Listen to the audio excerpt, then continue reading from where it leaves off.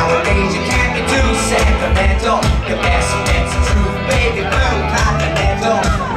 Old oh, cool oh, even if it's old junk, still rock and It's 1988 at the homecoming dinner dance at Arthur Adams High School.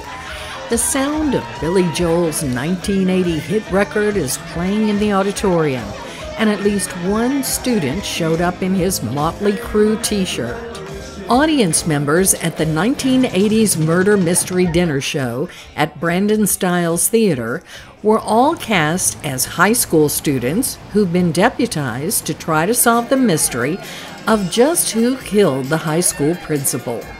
And just like today's teenagers, many had to take selfies with the corpse.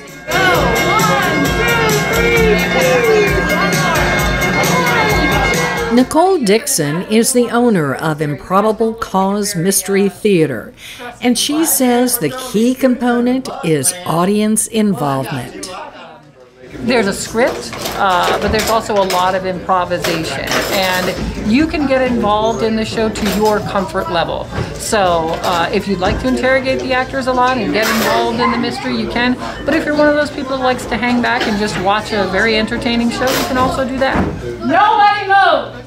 Nobody call for an ambulance. This man is obviously dead. Yup. And this is now a crime scene. The name's Gunn. Detective I've a gun. It was Nicole who played Detective Iva Gunn, and there were plenty of other puns in their script. Jackie and Terry Curtis from Foley, Alabama, were happy to play along as a couple called Jack and Diane. So, uh, Diane, is it? Apparently. Uh-huh. so, uh, you're on the archery team, is that correct? So it's said. Uh-huh. So you were gonna make sure uh, Principal Messer got shot through the heart. And then who would be the blame? Lady, you give love a bad name. All right. The Improbable Cause Mystery Theater is made up of over a dozen actors performing at theaters in the Gulf Coast.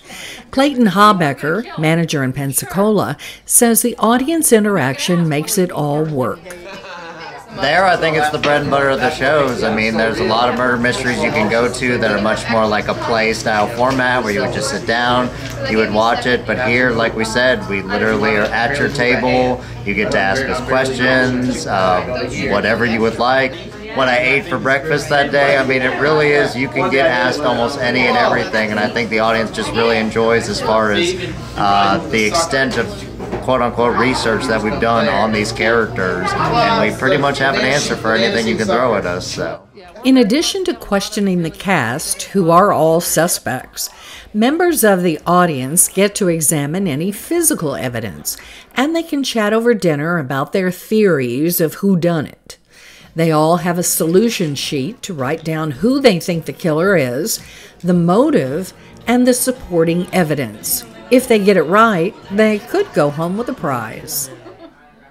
Sandy and Bob Steffel of Foley said they had a great time at the 1980s Murder Mystery Dinner Show, and they've been to several other shows. Yeah, we've been to one in Mobile on a riverboat, one in St. Louis.